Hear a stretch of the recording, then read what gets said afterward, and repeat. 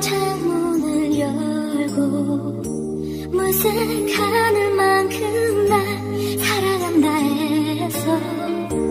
그대로 돌아가고 싶지만